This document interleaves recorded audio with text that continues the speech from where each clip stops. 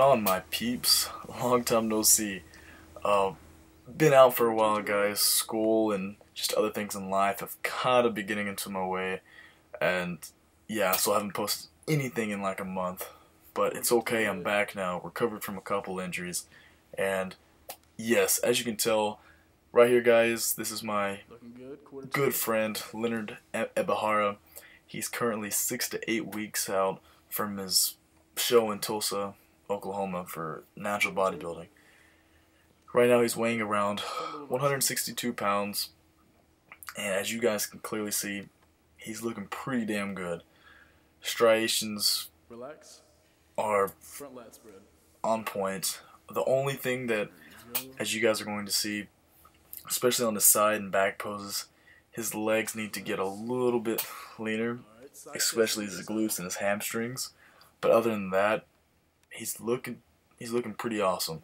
As you can tell in the side chest, like I said, chest striations are coming in, shoulders are coming in. I would like to see him around 150 to 155 pounds. If he does that, guys, I think it's gonna be hard to match his conditioning. He's um, this is gonna be his, I want to say fifth show, and he's, I mean, this is like in a total of like three to four years. This guy's been a good friend of mine for a while, and I'm just here kind of documenting his journey since I'm out in an off season, obviously. But it's always good to help the sport. Always good to help some friends. And um, guys, just leave your comments. You know what he needs to work on some more. obviously, like I said, he has time. So leave a comment. Tell me what you guys think. Then again, this is Lenard Ebihara, six to eight weeks out. He's 22, and uh, yeah, appreciate the support, guys.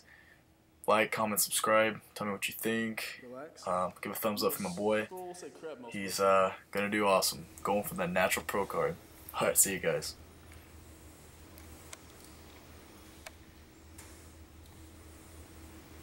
Nice.